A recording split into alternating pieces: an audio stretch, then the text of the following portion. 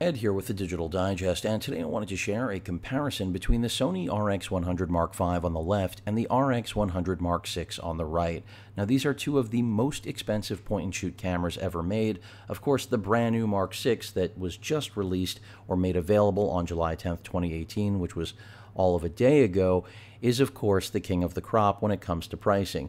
A little under 1200 US dollars is the uh, small ransom you will have to pay in order to acquire one of these buttes. And I say that because the RX 100 Mark VI, in my opinion, is a game changer. The Mark V to its left, $950, that is again US when it launched originally. Now you can find it for, I don't know, 50 to $75 less than retail. So these are two, the still the two most expensive point and shoot cameras on the market. So right here at the top of the video, I want to discuss what is different from this generation, the Mark V, to the Mark VI generation. Keep in mind, this is an adhesive grip that Sony sells. This is not part of the camera. It's about a 14 or $15 accessory, which I highly recommend no matter which RX 100 model you pick up, since Sony pretty much still manufactures all of them, even though we're in our sixth generation.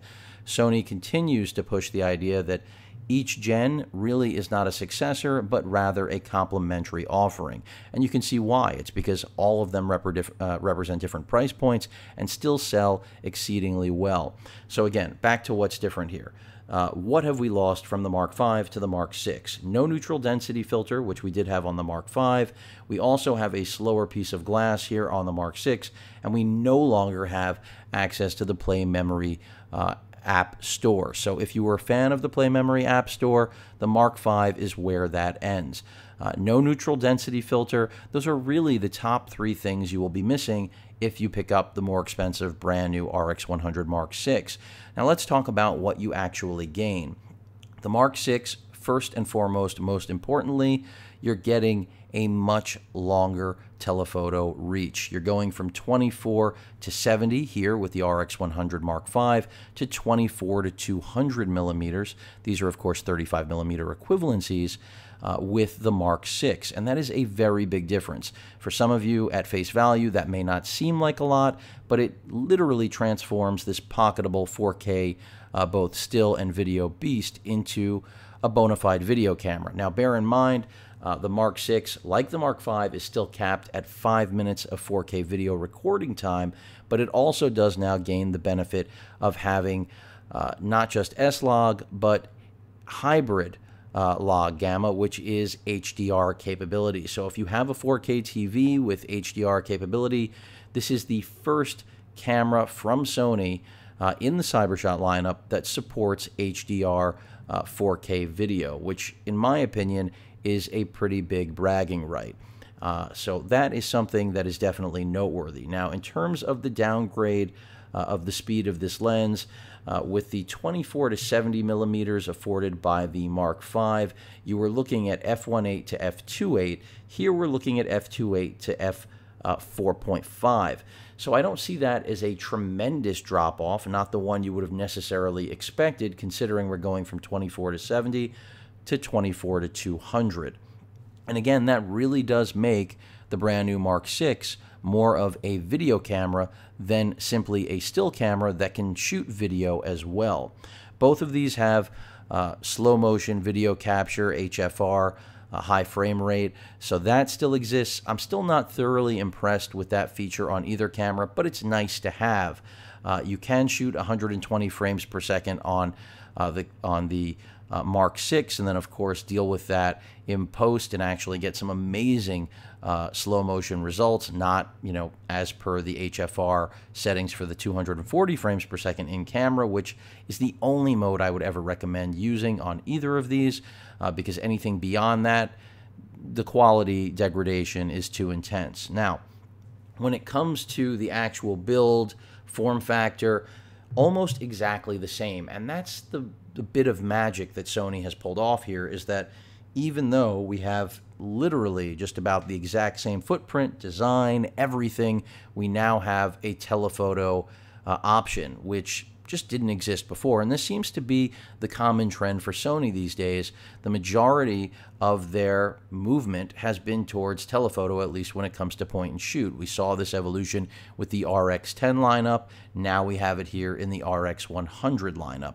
And in my opinion, this is a welcomed addition because the Mark V is certainly not antiquated in any way. In fact, between the neutral uh, the ND filter, as well as the play memory access, and then most importantly, the faster glass, it still remains beyond competent and relevant. Both of these have the same 1 inch 20 megapixel sensor, the same autofocus prowess with 315 points of phase detection, giving you, uh, I would say, interchangeable uh, camera like, uh, an interchangeable camera body like autofocus system in a pocketable form factor. And that all began with the Mark V and, of course, has transitioned here with the Mark VI. Some other noteworthy things that you should be aware of in terms of design changes, the EVF. You can see right now, looking at my video, they're not exactly the same size, and that's because Sony has made it touchless. So with the Mark V, you would simply just flip this out, and on comes your camera, and then you'd have to pop out the EVF. That is how it would work. If you wanted to close the EVF, slide it back in, push it back down, it powers the camera down. Now with the Mark 6, you have the ability that once you hit that, it's completely ready to go, ready to shoot. Uh, no more pulling out the EVF, pushing the EVF back in.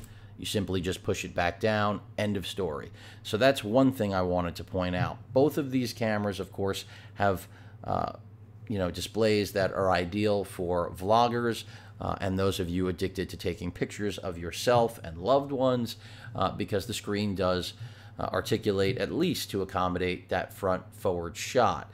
Uh, that is nothing new, not an upgrade, but definitely a nice add-on. It does seem that this has a little bit more uh, movement, that is the Mark 6's LCD, than the Mark 5, which uh, firmly uh, sticks right there. You can see the difference. The Mark 6 actually is able to come over and around the body a little bit, whereas the Mark 5 is not. Now, in terms of performance, here's what I can tell you. If you're sticking within the 24 to 70 range that the Mark 5 set the standard for in terms of the pocketable uh, point and shoot camera world, then you won't be disappointed with the results out of the Mark 6. They are very, very similar, if not almost identical, in spite of the fact that this does have a slower piece of glass attached to it. What is pleasantly surprising is that once you exceed that 70 millimeters, in spite of the fact that you don't have as fast a piece of Carl Zeiss glass fixed onto this camera, the results do not drop off. At least in my experience so far, things are pretty much as sharp as you could imagine going through the entire 24 to 200 millimeter range. You also then, of course, have the ability to use clear image zoom, uh, which is a nice thing to have. Both cameras have it, but with the fact that now we actually have somewhat of a telephoto video camera esque capability in an RX 100 form factor, it is even more of a game changer in my mind. So when people ask me, is it worth it to go uh, from the Mark V to the Mark VI, it really depends on what you were doing with the Mark V. If the Mark V was a, primarily a still camera for you, which I imagine it would be, even though it does take exceptional 4K video. Uh, if you were leaning predominantly on play memory apps for things like time lapse, as well as a workaround on the five minute recording time, even though both of these will overheat, I can assure you of that. That's why, if you were wondering uh, why the 4K is capped at five minutes, it's because these cameras will overheat. Sony doesn't want you damaging the internals or wondering why or complaining as to why the 4K video is overheating. So why not just cap it at five minutes and call it a day? Uh, so again, back to why you'd want the Mark V. Uh, that ND filter, uh, of course, the, the faster glass, still a welcomed addition, still the same autofocus prowess, but you just really don't care about the extra telephoto capability of the brand new Mark 6, and you don't care about the 4K HDR uh, capability, which again is something that you will not find on any other Cybershot product. The RX10 uh, Mark IV, which I love, doesn't have it. Will the Mark V? You better believe it. Uh, who knows what else Sony will come up with? They may even make that lens longer. But sticking to this, so if still capability is your primary focus, I still highly recommend the Mark V. There is nothing wrong with it. In fact, it's got those advantages that I mentioned about the ND filter as well as the faster glass. And then, of course, um, you know, basically that access to play memories, which I think for point and shoot users is a nicety. Uh, professionals may not care about it, but a general point and shoot user, I think, would appreciate it. Now, if, however, uh, the one thing that always held you back from picking up an RX 100 was optical reach, and you were looking at Panasonic's logical offerings, which do have longer lenses paired with a one inch sensor, but maybe not all of the features and certainly necessarily the fidelity of what Sony puts out. For example, the RX 100 Mark VI is capable of 24 frames per second. You heard correctly, 24 frames in a second. Whereas Panasonic, similar offerings, which are half the price, don't get me wrong, great value, they, I think, top out at about six frames per second. So there is clearly a dynamic difference in autofocus as well as continuous shooting performance. Uh, and I'm not, this video is not about comparing the Sony products to Panasonic, but something I have to mention because I know a lot of you are going to say, why wouldn't I just pick up the comparable Panasonic offerings? More reach, half the price, seems like a no brainer. And I understand why. And maybe I'll end up doing a comparison if I get my hands on any of the Panasonic offerings. Right now, I'm focusing on what we've got in front of us. And to me, the Mark 6 is really a most logical pickup for those of you that want to have about a 50 50 balance between video and still. Whereas the RX 100, every generation that uh, preceded the Mark 6 was really all about still first, video second. Uh, now, I know you'll probably bring up, yeah, but it's still limited to five minutes, even if this is more of a video camera because of its extra op optical reach. Well, that's true. However, when you think about the video that you shoot on a day to day basis, whether you're a vlogger, amateur, professional, whatever profile you cast yourself in, uh, five minutes is usually more than enough, especially if you're going to be doing editing to go from clip to clip. My biggest pet peeve with uh, the Mark 6 is really the lack of a new battery type. I would have loved to have seen better battery performance out of this camera because that to me is what Sony stepped forward with uh, with the A7 line this year, and I was hoping we'd see a similar transition with the RX 100 lineup. But of course, uh, it is a pocketable camera. Size is uh, at the top of the list here, and as a result, that is one of the areas where things suffer. Now, in terms of powering both of these on, so that you can actually see uh, what the lens looks like, you can see as soon as I power them on, uh, the RX 100 Mark V actually is extended more. But as I actually uh, go more telephoto, you can see that's where things change drastically. Uh, not comparable uh, in terms of the barrel that's inside of, even though I'm missing that, inside of the Mark V versus Mark 6. Uh, power on and off time, a little bit faster on the Mark V. Uh, I'm going to try that again. Oh, that one is my fault because of uh, settings, so not a proper test.